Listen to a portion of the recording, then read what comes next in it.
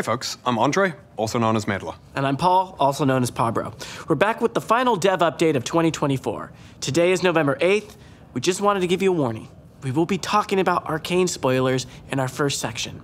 So if you haven't finished the finale, skip to the time on the screen. Okay, spoiler disclaimer out of the way. Let's take a moment to talk about Arcane. It's been such an amazing journey to watch the story play out. And like many of you, we're sad it's over.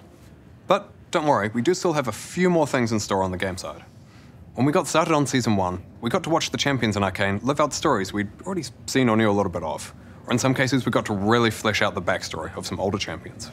With Season 1, Caitlyn received a visual update to better align the game and the show. And for Season 2, we're doing something similar for Viktor. And tomorrow, you'll see his update hit PBE. We're not pulling a gangplank and disabling him because he's dead. Well, hold on. I think you're onto something with killing Gangplank and other Oh. characters. Okay. Anyway, we wanted to better represent his evolved, powered up form we saw in Arcane, and the personality that goes along with it. Viktor's update is primarily focused on updating his visuals, audio, and backstory. We want to showcase the striking evolution and changes you just saw him go through in the show. So we're going to keep the gameplay you know and love, with a slight change to his ultimate. The ult will still function largely the way it does now, but it'll get bigger with every kill until the ult is over. We wanted to mirror the feeling from Arcane, where he manifests a massive, growing storm that consumes everything around him. We also updated all of Viktor's skins.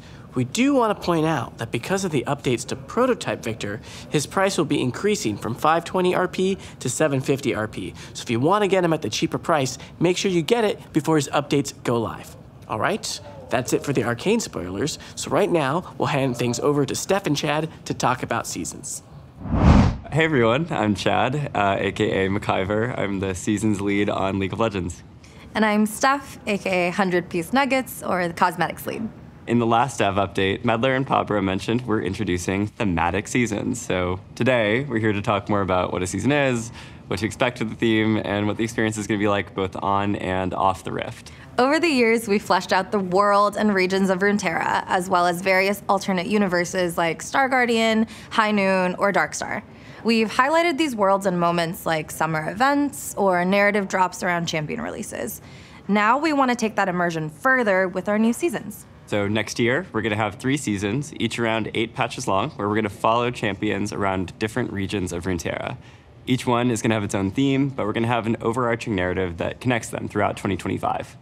And each season's theme will be the anchor for most of the content going into the game as well. In the past, we've had these big releases like Swarm or Spirit of Hearthhome. They're super memorable and fun, but they're also not connected to a larger integrated moment. And in seasons, we want everything to connect together.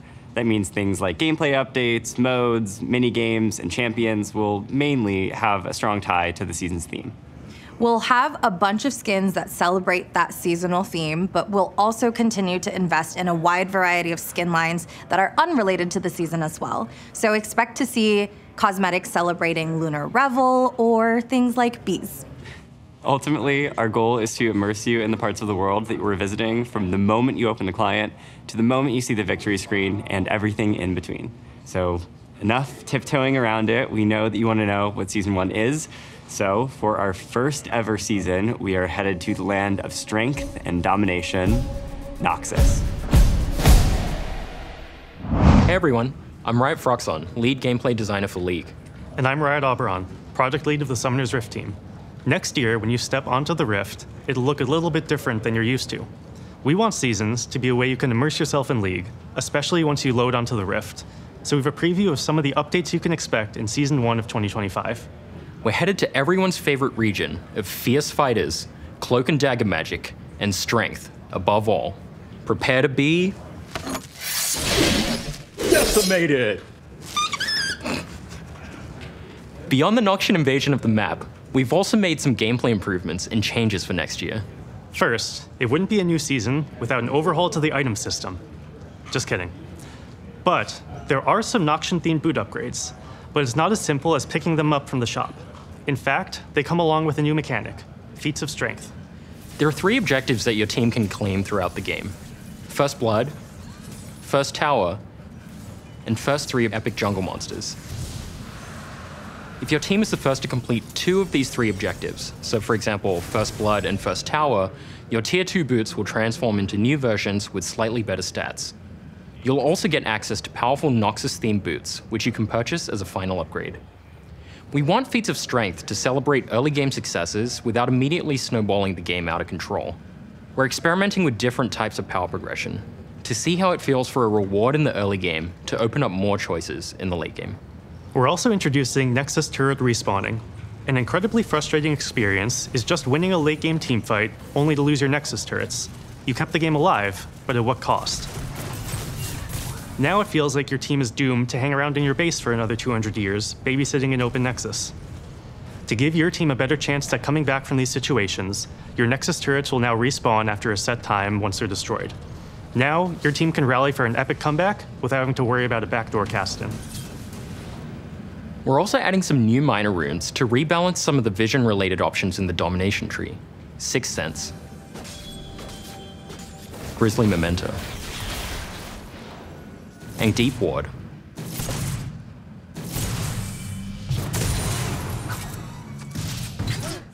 As well as a new addition to the sorcery tree called Axiom Arcanist, which makes ultimates more powerful. We also couldn't resist changing items just a little bit, so we're adding some small scope adjustments to tank items and adding a new item called Bloodletter's Curse. Well, new-ish. It'll look familiar if you've spent time in Arena. But if you haven't, Bloodletter's Curse reduces the target's magic resistance from repeated spell hits, which is sort of like an AP version of Black Cleaver. Finally, let's dig into the biggest update of the season Atakhan, Bringer of Ruin. The new epic jungle monster is drawn to death and destruction. He will spawn only once at 20 minutes on either the top or bottom side of the map, whichever side has seen the most champion damage and kills by 14 minutes. To signal where he'll make his entrance, Atakhan's arena will spawn, adding new permanent walls to that side of the map. Atakhan's dark influence will also cause blood roses to grow periodically in the areas where champions have been killed. More death means more roses.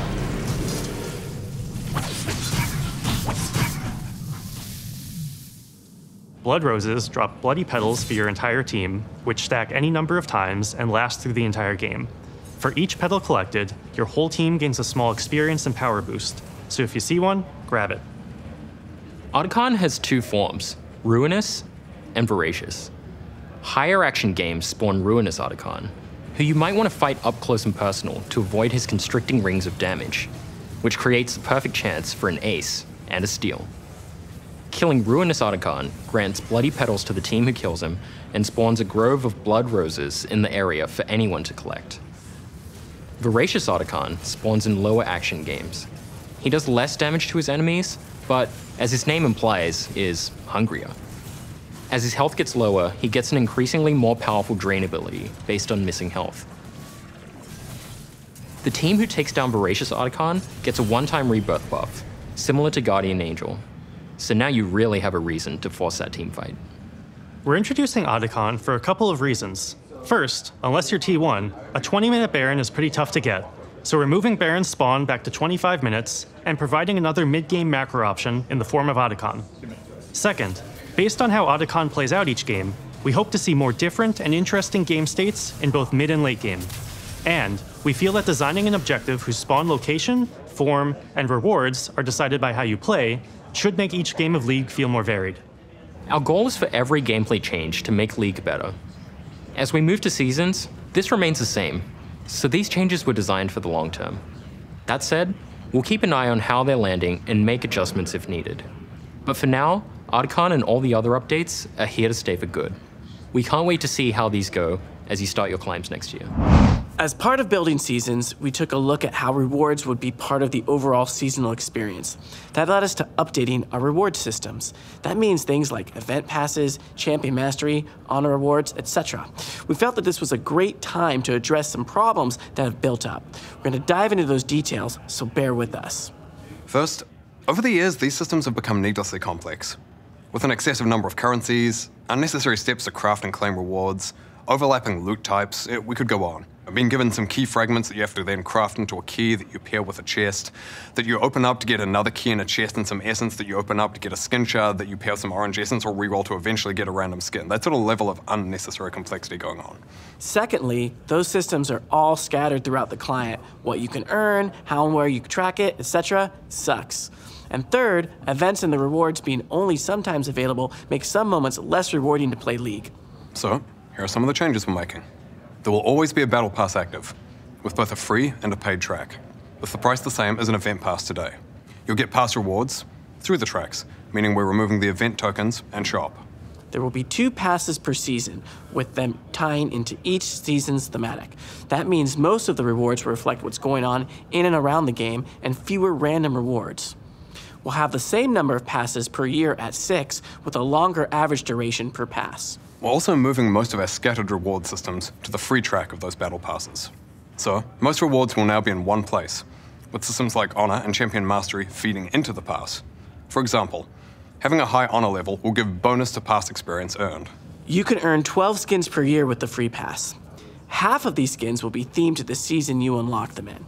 We'll also be simplifying the loot and crafting system, Orbs will always be available, so Masterwork chests, for example, will get phased out since they serve such a similar purpose.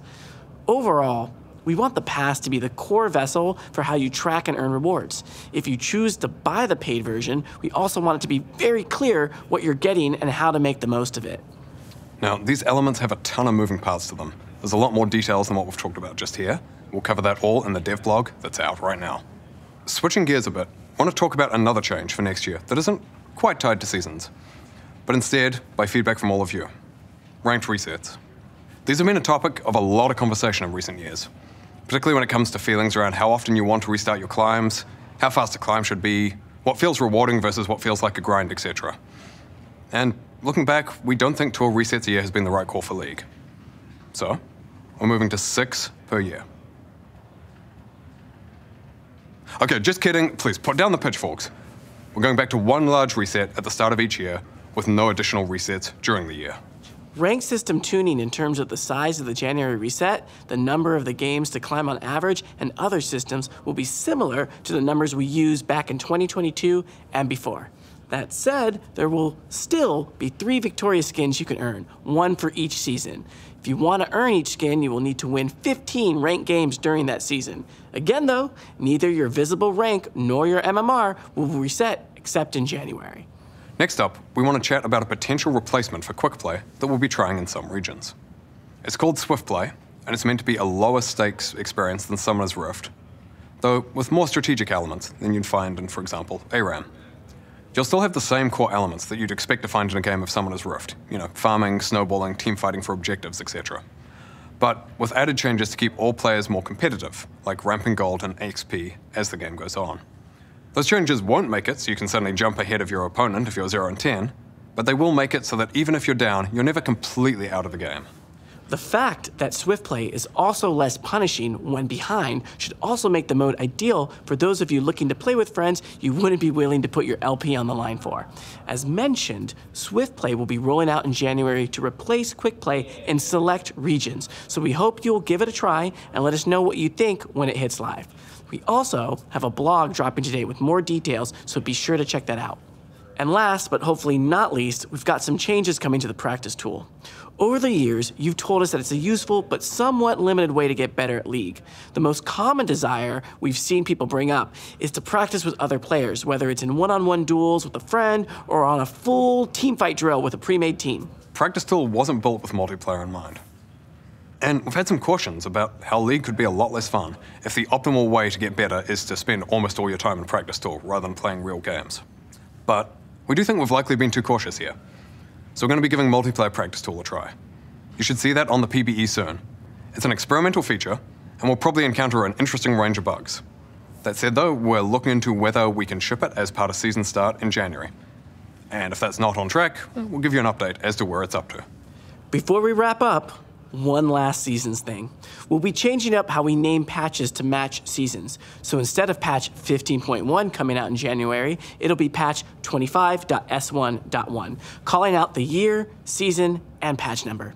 Season 2 will then kick off in patch 25.s2.1. You get the idea. Okay, that is it from us today.